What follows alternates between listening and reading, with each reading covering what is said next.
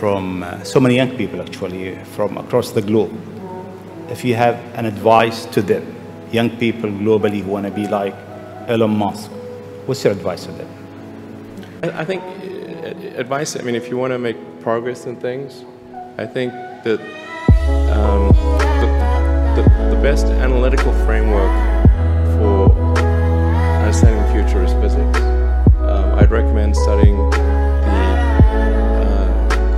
the, thinking process around physics, like not, not just not, not, not the equations. I mean, the equations certainly they're helpful, but the, the, the way of thinking in physics is the, it's the best framework for understanding things that are